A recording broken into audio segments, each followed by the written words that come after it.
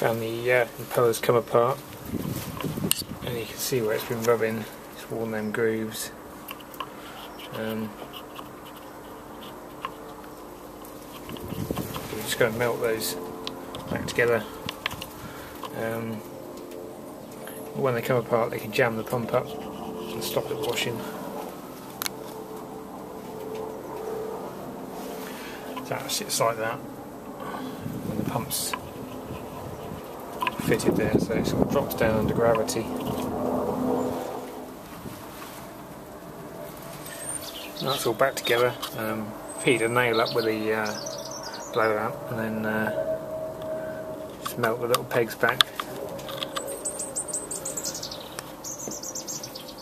That's uh, pretty much held on there now.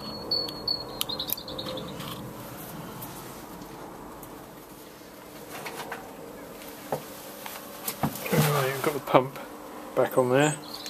Checked the capacitor, checked out okay. Now we had to cut the uh, um, Jubilee clips off of that. Somebody'd used normal steel ones and they should be, you want to use stainless on these things, so I've put a new one on there.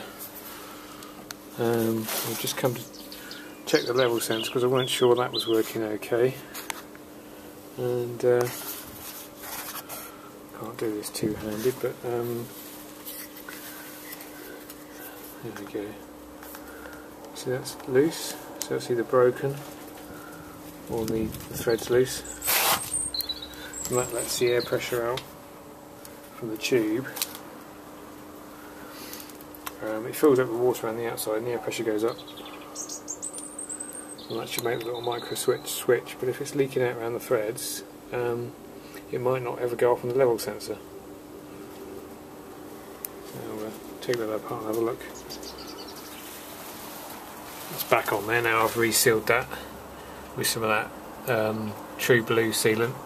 I was going to put some Loctite on there, but um, when I read the uh, um, directions for it, um, it says not to use it on plastic parts, so I was just, just about to use it and I, I vaguely remembered something about not using it on plastic. When I checked it said yeah, not, not recommended for plastic parts, so I've used that blue stuff I use on the fusible plugs. There's no pressure in there, so it's, you know. Right, give it a try and see what happens.